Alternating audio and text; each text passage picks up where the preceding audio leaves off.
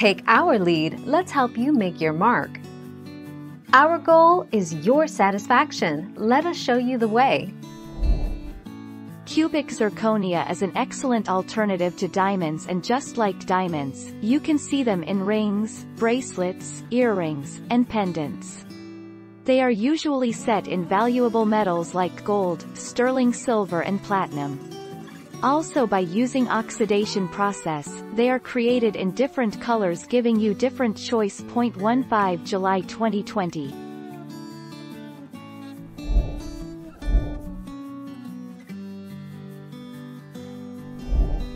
Take our lead. In all cubic zirconia jewelry, the gemstones are exclusively lab-created, Often regarded as an inexpensive diamond alternative, cubic zirconia is distinct in its aesthetic qualities and physical structure because it's lab-grown, whereas natural diamonds are beautiful, naturally occurring gemstones. 30 October 2020.